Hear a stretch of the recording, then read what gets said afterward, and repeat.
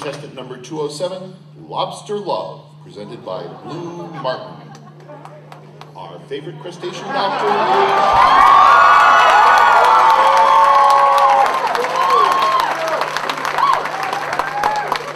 in for a surprise.